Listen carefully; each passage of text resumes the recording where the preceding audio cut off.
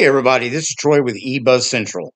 Today, we're taking a look at a very different operating system. Are you somebody that is worried about security? Are you somebody that wants to stay anonymous? Well, Tails is the operating system for you. It is designed to be put on a USB drive and you can just carry your operating system around with you, or you can install it on a laptop. As a matter of fact, it's the same operating system that Edward Snowden uses. But before we get started and get in too deep, make sure you like and subscribe to my channel. It doesn't cost anything, and if you end up not liking me, you can always unsubscribe. This is what you're met with with when you boot up into Tails, whether you're on USB or in virtual machine. Right here, it gives you the Tor connection. What the Tor is, it encrypts and anonymizes your connection by passing it through three different relays. Now, these relays may be all over the world. You have two options. You can connect to Tor automatically, which is easier, hide to my local network that I'm connecting to Tor, safer. We're just going to go with the easier route today, and we're going to connect. And right now, it's connecting to Tor without bridges, and I'll show you how we can handle this in just one moment. Now, it's come up up, you can now browse the internet anonymously and uncensored. If you look up here, this little onion had an X on it a while ago. We're going to go ahead and open the onion circuits and it shows you the circuits over here. These are the relays and you can click each one and it'll tell you the information about that circuit. It will show you that it's fingerprint, published, IP, bandwidth. So let's close out of that. Now we want to start the Tor browser. Okay, the Tor browser has opened up and if you look down here, it shows you we're in the Tor browser and then over here it shows you we're on the Tor connection, which right now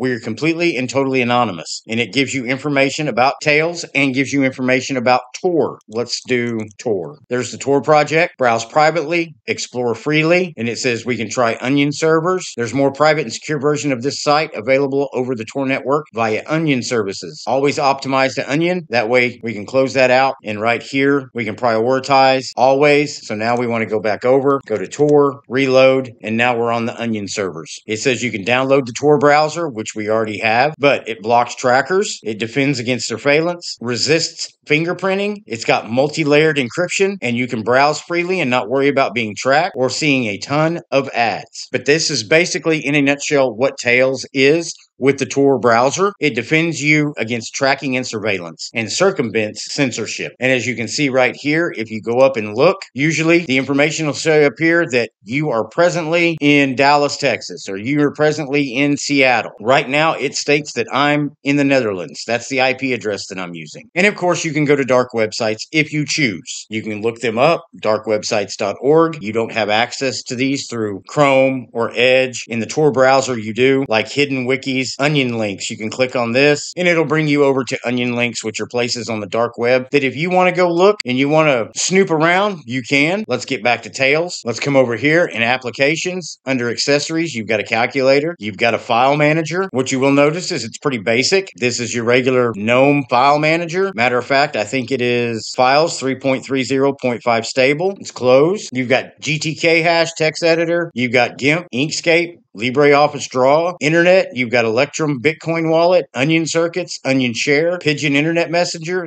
Thunderbird as your email, Tor browser, Tor connection. You got an unsafe browser, but I wouldn't use it if you're wanting to stay anonymous. Bookit under Office, you have Booklet Imposer and the LibreOffice suite. Sound and video, you have Audacity, Brasero, Sound Juicer, Sound Recorder, Video Player, System Tools, Synaptic Package Manager. If you want a different piece of software, you can go in there and download it. Settings, additional software, Root Terminal. Let's see if it's got HTOP. Doesn't have HTOP. It's got top. Uh, it's resting at about 758 megabytes of the two gigabytes I have issued to the machine, and that's with the Onion network open. So that's not too bad. That's pretty light. System tools. Let's go to t- uh, Tails. You got about Tails, additional software, configure persistent volume, delete persistent volume, Tails installer, universal access, utilities. You got your system monitor. You've got document viewer, disks. So let's go over here. Let's go back to Tails. Let's look at about Tails. Amnesiac, incognito live system. So that's just a brief look at Tails. Tails OS is really interesting. I downloaded it just cruise around in it and just check things out. But it's really interesting when you get onto the Tor browser and you start looking at what's in the dark web. And it's eye opening, quite actually. Uh, there's a lot of information out there that isn't needed, but then there's a lot of information out there that is. And you can view it and you can do it encrypted. You go through three layers of security. You go in one door, they send you to another door, to a third door, and then you're completely anonymous on the other side